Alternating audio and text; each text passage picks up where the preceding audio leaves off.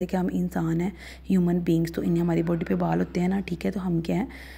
Mammals हैं। इसके बाद इसकी एग्जांपल आ जाती है एग्जांपल्स में काओ गॉट और भी बहुत सारी एग्जांपल्स आपको आगे मिलेंगी। तो ये सारे क्या कहलाते हैं?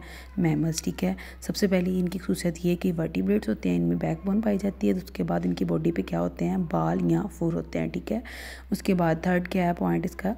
कि ये अपने बेबीज़ को क्या करते हैं? फ़ीड करते हैं, दूध पिलाते हैं। और नेक्स्ट क्या है? ये जनरली जो इनके बेबीज़ होते हैं, वो डेवलप होते हैं किसमें inside the mother body mother माँ की बॉडी में, ठीक है? तो आप यहाँ पे इसको डिस्कस कर लेते हैं कि इसमें आपको मैंने बता दिया है कि इसकी कितनी काइंड्स हैं टू मेन काइंड्स हैं।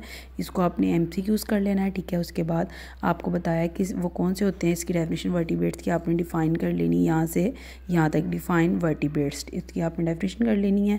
उसके बाद आगे आपको बताया कि इसकी कितनी पॉइंट पाई जा रही है फोर्टी सेवन थाउज़ेंड में इसको आपने एम सी क्यूज़ कर लेना है। और उसके बाद इसको बताया कि कितनी इसकी डिवाइड किया गया कितने ग्रुप्स में।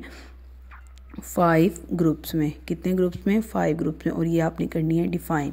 फाइव ग्रुप्स में। तो इसकी आगे एग्जांपल्स आपने याद कर लेनी। कौन कौन से ग्रुप में नाम? सबसे पहले ह्यूमन बींग्स सबसे पहले इसका पॉइंट आपने करना है। यहाँ से वो होगी उसकी एग्जांपल्स ठीक है?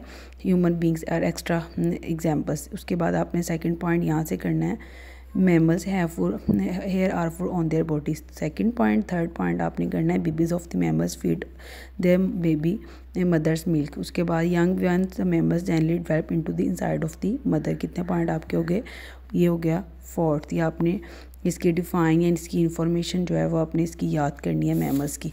नेक्स्ट बेटा, आपको ये एक्टिविटी बाद में पढ़ाऊँगी बर्ड्स अब आ जाता है टॉपिक बर्ड्स का.